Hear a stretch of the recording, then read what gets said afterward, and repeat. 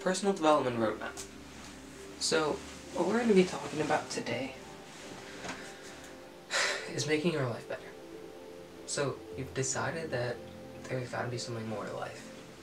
You want it to be better, but you don't know where to start. Well, this is where your roadmap comes in. It's going to take you from point A to point B. Okay. It's going to give you an idea of what goals you want to pursue, of what areas of your life you really need to improve to make the most impact, and also how long it's going to take, what the end goal is, and how you can stay committed to these goals so that you won't fall off the wagon again. Let's begin.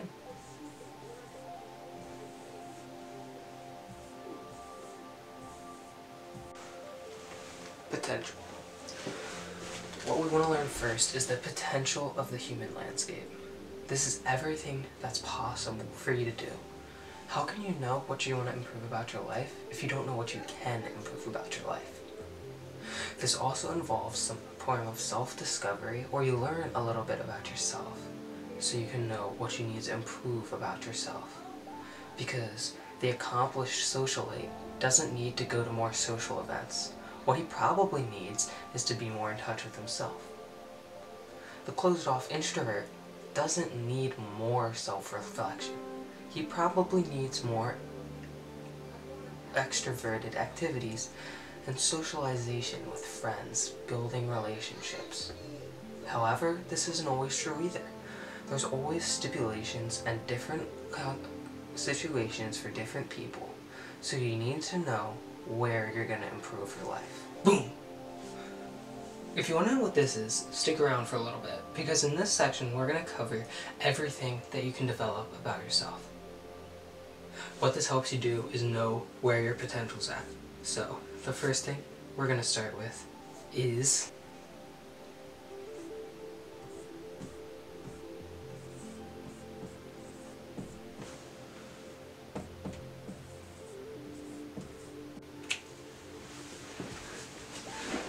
intelligences. There's actually nine types of intelligences. These are all really important and every single thing you can develop in. A lot of people only think about logical intelligence when they think about intelligence, but that's actually one of only nine. So the other eight are linguistic intelligence, which is book smarts, you know, words. Intrapersonal intelligence, which is knowing yourself, your values, strengths, weaknesses. You have kinesthetic intelligence, which is awareness of your body. People who are developed in this are usually good at sports. And then there's musical intelligence, visual spatial intelligence, pretty self-explanatory.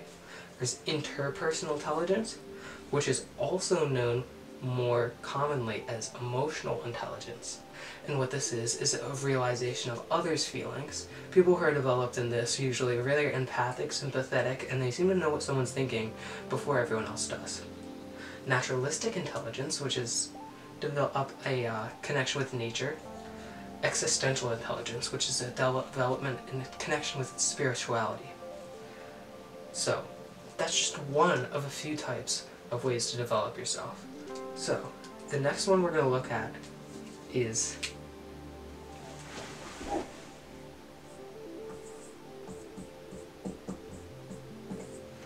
skill development. This is very broad and very basic. It's exactly what it sounds like. It's something that you can master and you can put a lot of time and practice into that usually, if you're doing this the right way, will connect with your higher values and purposes and bring you more fulfillment in life. Examples include photography, drawing, art, reading, literature, math, buying shoes, whatever you want. So, the next one we're going to look at is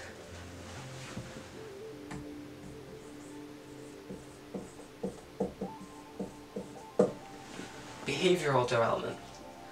This mostly consists of habits and tendencies. So what you can do is break a new break an old habit or build a new habit. If you want to look into this, a book I highly recommend is Atomic Habits. If you haven't read it already, pick it up at your local bookstore. It's just about everywhere. If you have, you know step-by-step -step formula to creating habits and breaking old ones. You know how important that habits can be in your life. I recently started a loving kindness habit where I do it every evening and then I post a YouTube video on this channel. You can check out some of my other videos. But it has been helping me tremendously in life because if you just improve 1% every day, by the end of the year, you'll be 37 times better. Don't sleep on habits. Now, the last and final way, which will explain this magical wheel we have over here, is personality development. Personality development mostly just includes knowing yourself, what your strengths and weaknesses are, and it's based upon the theory that you're born with a certain personality from birth and you can't change that throughout your life. However, you can live through more integrated parts of it and learn to know your, your personality type strengths and weaknesses and use them to your advantage. So, there's been a lot of tests for personality types, and I'm sure you've heard of it. Things like Big Five test, Myers-Briggs test, and something you've probably taken in high school before and forgot about because it's kind of useless. The best one I found is the Enneagram test, which looks like this. It looks really confusing at first, and you're probably wondering what all this means. But there's basically um, nine personality types, and each one has a direction of growth and a, a direction of stress. So, for example, three, their direction of growth is to six, and the direction of stress is to nine. So, you want to go to into a six. Three is the achiever. So, achievers often become closed off from people and uncooperative because they just go cutthroat if they're unhealthy. But if you go more in the direction of a six, which um, is more connected with people, then you can develop yourself. Now, this is a really useful test, so what you want to do is just look up three free Enneagram test. Um, I'll spell that out for you here.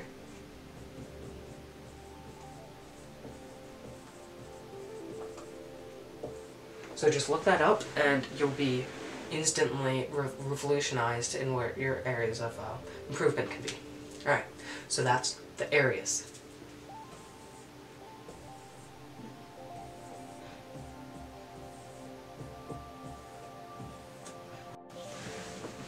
The next step of spiritual development the next step of the personal development roadmap we're going to look at is a vision. This part's fun. Basically what you want to do here is figure out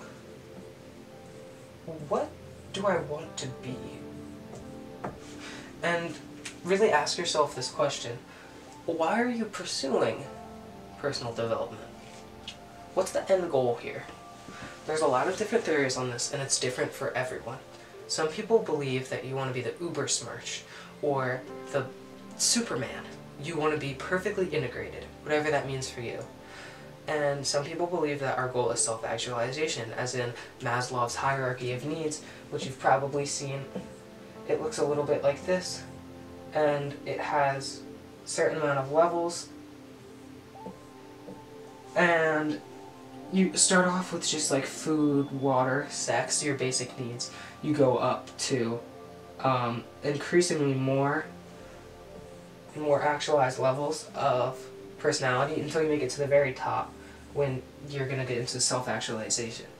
So this pyramid is very important because it gives you an idea of where to start. Because if you don't feel included within your peers, then self-actualization is going to be really difficult. It doesn't mean to sacrifice your type and your personality just so that you can fit in with your peers, but it means that you may need to find a new friend group before you can fully feel safe and start self-actualizing. This is important. What you want here is an end goal that can motivate you and keep you going when things are tough. Because if you don't know what you're shooting towards, then you're not going to reach it. Trust me, I've tried. You have to start with the end in mind, which is one of the most important principles in um, The Seven Habits of Highly Effective People, which is a great book. I'm sure you've read it. If you haven't, go read it. Anyway, what do I want to be? Decide. Alright, decided? Let's move on.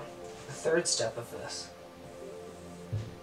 is to focus. focus. No, not that type of focus. What we want to do is pick what you want to focus on.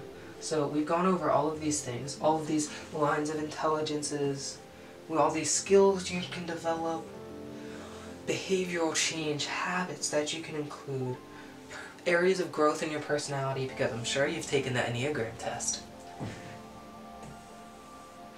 And you have a ton of ideas running through your mind. You've incorporated a vision and found out who you want to be, and you have the end goal. So all you need to do now is get started. And the way you do that is first picking what you want to get started on. Now, it's probably going to be really overwhelming, and I understand that at first. But the, the, main, the main part of this is asking yourself these two key questions. What do I want to improve most about myself right now? And what interests me in this moment? So, the things that interest you the most are going to be easier for you to develop. And it's just something that's been studied time and time again. When you want to do something, you're going to get more results from it. Think about when you've learned something at home. It was probably way more fun than what you learned at school. Even if what you learned at school was just as important, the stuff that you choose to learn on your own is much more fun. And that's the way we get started with this. You don't want to start with the hardest thing. You want to start with something easy that will get you motivated. Start with something fun that you want to develop for me, that's social skills. And getting out there and talking to people, having relationships, and um, just developing my personality and kindness, you know? And that's, that's what interests me, and it gives me a passion in life. My vision is to be someone eventually with a group of friends who all challenge each other and um, improve each other. And I think that's great. So find something like that for you. Think about everything we've done. Pick what interests you the most and then come back because you're ready for step four. The fifth big step is setting goals. A lot of people set really, really big goals, but that's not the point of what we're trying to do here. These are little things that keep you motivated along the way so you can have something to shoot for. When you want to dream big, do that in your vision. These goals are meant to be practical, achievable steps on your way to development. Another way to think of that is to think mini goals. Something that you can achieve in a month or a week even, maybe even a day. Start small, get bigger. Remember, these are just steps. The next big step in your path is your schedule. So you figured out in previous steps what you want your practice to be, what your vision is, and what your goals are. Now you need to just see where this fits into your life. So you need to really think about how much time you have. There's not one specific time that you should be spending on this. Just do as much as you feel is reasonable to you. If you're looking to master an instrument, you don't need to play for four hours a day. Even just half an hour or even 15 minutes is good enough. If you have an hour, that's great. But whatever you have is fine. Look at your day. Find empty time. This may have been previously occupied by TV or reading or something else that you're okay with letting go with now because remember, personal development is pretty much the most important thing you can do with your life. Finding empty time is going to be difficult, but what two most important times of the day that you want to think about adding this to is morning or night. Now there's advantages and disadvantages to either, but really it just comes down to personal preference. But these two times are really easy because the morning, you can do it before everything gets going, and you can do it before the whole hectic of the day starts. At night, it's nice because you can do it after thing, things have already cooled down. You can know that you'll always have time for it because you're going to be cooling down for bed and you can you can fit it in, make sure you remember it.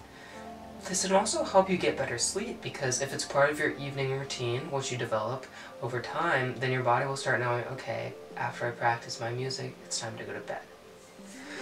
Remember, the key to this is is habit stacking. This is a phrase that's found in the book Atomic Habits that I've mentioned a couple times already in this video. But the key here is you take one habit that you have already and then stack the ne this next one on top of it. If you already brush your teeth before bed, you can say, every day before I brush my teeth, I'm going to practice my guitar for 15 minutes. Or if you already put your clothes out for the next day before you end your day, you can say every day after I put my clothes out for the next day, I'm gonna write music for 50 minutes. Whatever you need. That's setting your schedule. There's just one step left. Stick it out and you'll be on your way to personal development. The final step is monitor your progress. This is an important step because if you don't know what's going well and what's not, then you're never going to be able to get on the most efficient path possible. I know many times in my life I've been doing something over and over without even making that much results or getting positive activity in my life. One such thing for me was affirmations. They work for a lot of people, they just didn't work for me. And then I stopped, and my life didn't get any worse. Another thing to remember about monitoring your progress is that sometimes your own perceptions of progress are diluted because you see yourself every day and you want progress. You expect progress, and so you will often see progress. The mind comes up with things very easily if they believe that they'll be better for your survival. However, it can help to bring on a third party authority in order to get someone else's opinion on the subject. Find a close friend or family member to tell you if they think you've been improving. Someone you know is going to be someone you know is going to be honest with you and will really tell you the truth. I wrote third friends. I messed it up. It means third party. You're not allowed to have friends. No, I'm just kidding. You can have friends. Just make sure they're true.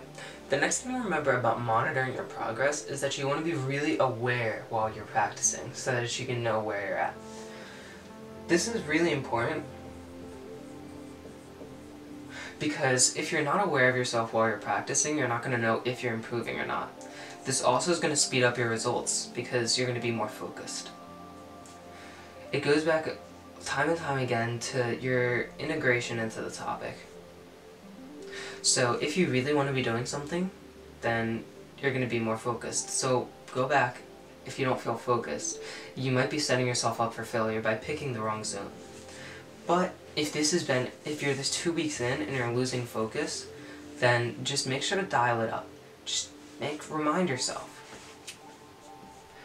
If you become 1% better every time, you'll be 30 times better in a year. So, just focus on a little bit more aware every time. You don't have to be that much more. This is a large, large scheme, and it's going to take your whole life commit your whole life to developing yourself. This isn't just a one year thing or one one skill. It's there's many many opportunities and it's going to take you decades. It's going to take you the rest of your life because there really is no perfect human. Some people believe in divine perfect humans, but most people agree that it's not it's not um, possible for us to attain that. The joy really comes in the process of getting there. I'm still going there. The most spiritually enlightened people you know, the Dalai Lama, he's still getting there. No one is perfect. Remember that. To wrap up, I'm just going to say that this isn't easy. This isn't. So, the first time you do this, just make sure that it's, it's something that you will actually be able to do and you enjoy doing. If you're looking to master a skill, make sure it's not something that someone else told you to do. Make sure it's something that you really want to do. With that, this has been Zen Tech. Stay zen.